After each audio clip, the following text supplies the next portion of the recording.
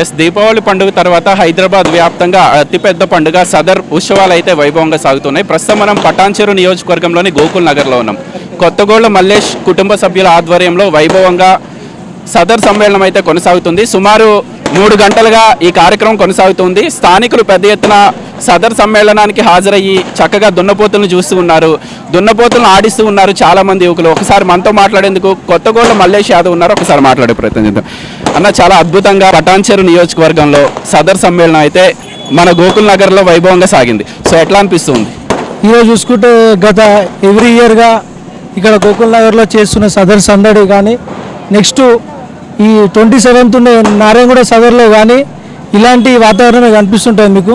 మీరు చూస్తారు ఒక మూడు గంటల నుంచి ఇక్కడ ఏమాత్రం క్రౌడ్ తగ్గకుండా ఒక ఆరు ఏడు దున్న దున్నల నుంచి ఇక్కడ దున్నపో సదరు చేయడం జరుగుతుంది.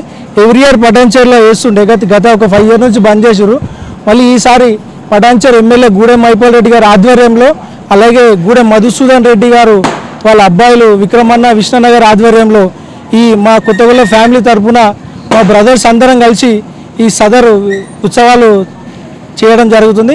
కానీ గోకుల్ నగర్ కానీ పటాన్చేరు ఇతర విలేజ్లకించి ప్రతి ఒక్క యువకులు స్వచ్ఛందంగా వచ్చి సదర్ వేడుకలో పాల్గొంటున్నారు అన్న అంటే మన పటాన్చెరు నియోజకవర్గానికి సంబంధించి సదర్ సమ్మేళనం మొదట మీతోనే మొదలైంది అనుకోవచ్చు. ఎందుకంటే ఈరోజు దీపావళి పండుగ సాధారణంగా దీపావళి అయిన రెండు రోజుల తర్వాత సదర్ ఉత్సవాలు మనం చూస్తుంటాం. ఎందుకు ఈ రోజే పెట్టడానికి కారణం ఏంటి? అయితే ఏంటంటే అన్న ఈ రోజు పెట్టడం కారణం ఏంటంటే మనం every year twenty six twenty fifth చేస్తుంటే.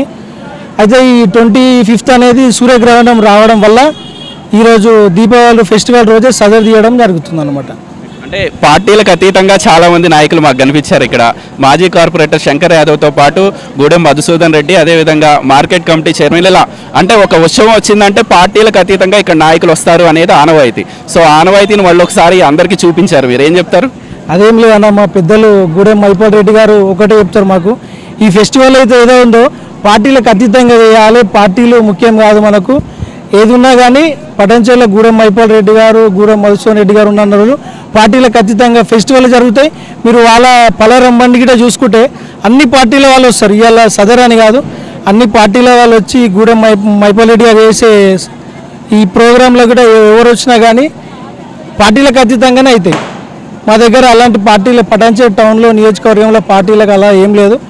పెద్ద మనుషులు వాళ్ళు వేసుకుంటారేమో కానీ ఈ పా ప్రోగ్రామ్కి వచ్చే వరకు పార్టీలకు అతీతంగానే వేస్తాం సో జీహెచ్ఎంసీ ఏరియా కమిటీ మెంబర్గా ఎప్పుడు జనాలకు అందుబాటులో ఉంటూ ఏదైనా సమస్యలు ఉంటే మీకు అయినంత వరకు మీరు తీరుస్తూ ఉన్నారు. ఏదైనా పెద్ద సమస్యలు ఉంటే ఎమ్మెల్యే గారి దృష్టికి తీసుకెళ్తూ ఉన్నారు. సో ఓవరాల్గా డెవలప్మెంట్ ఎట్లా ఉంది? కొంచెం రోడ్లు ఇబ్బందిగా ఉన్నాయి ఇప్పటికీ.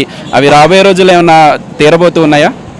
అన్న మీరు పటంచే నియోజకవర్గం చూ చూసుకుంటే పటంచే నియోజకవర్గంలో ఉన్నంత డెవలప్మెంట్ ఎక్కడా లేదు. ఈ మనం ఏరియా కమిటీ మెంబర్ ఉన్న రోజులు పటంచే గోకుల్ నగర్లో కానీ సీసీ రోడ్లే ముఖ్యం కానీ దగ్గర దగ్గర ఒక తొమ్మిది నుంచి ఇరవై ఇరవై దాకా సీసీ రోడ్లే కొత్త సీసీ రోడ్లు వేయించినాం ఇప్పుడు కూడా పటంచెల్ల గూడెం మైపాల్ రెడ్డి గారు ఇప్పటికి రెండోసారి ఎమ్మెల్యే అయి నుంచి అభివృద్ధి అంటేనే గూడెం మైపాల్ రెడ్డి.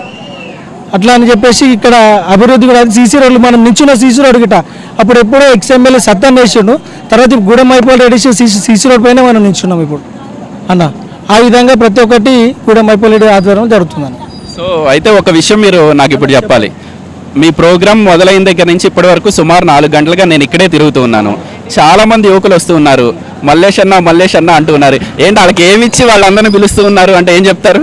వాళ్ళకేమి ఇవ్వలేమన్నా మనం అంటే అభిమానం. అంతే దానివల్లనే వచ్చారు కానీ మనం వాళ్ళకి ఏదో డబ్బులు ఇచ్చి అవి ఏమి ఇవ్వకుండా డబ్బులు ఇచ్చేం ఏం లేదు.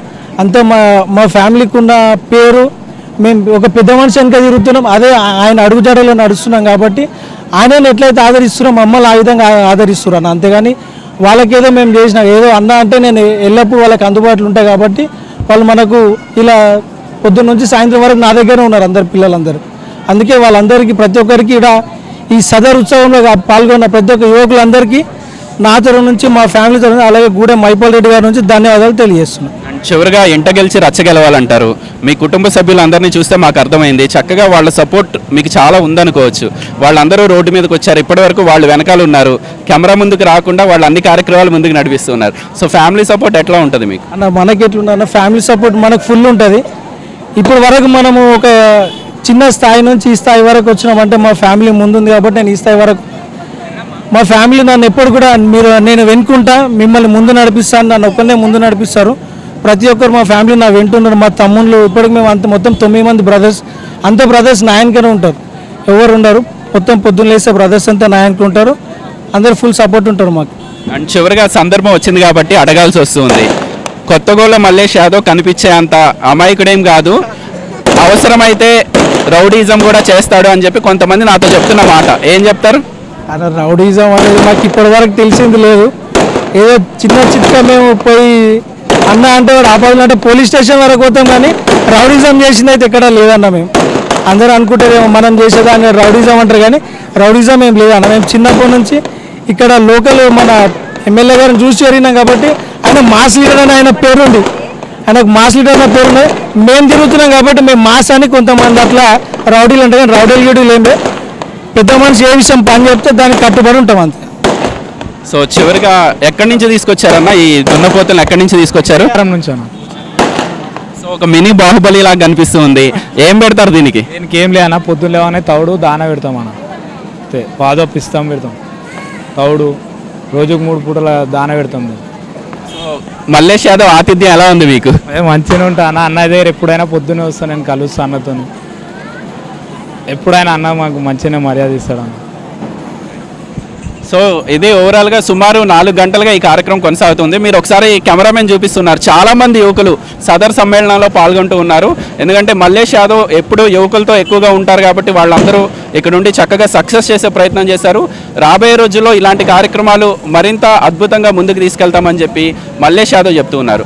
ఖచ్చితంగా గూడెం అయ్యపాల్ రెడ్డి సహకారంతో స్థానికంగా ఏవైతే ఇబ్బందులు ఉన్నాయో రోడ్లు కానివ్వండి ఏమైనా సమస్యలుంటే ఎమ్మెల్యే గారి దృష్టికి తీసుకెళ్ళి అభివృద్ధికి ఖచ్చితంగా తోడ్పడతానని చెప్పి మల్లేష్ యాదవ్ స్పష్టం చేస్తూ ఉన్నారు.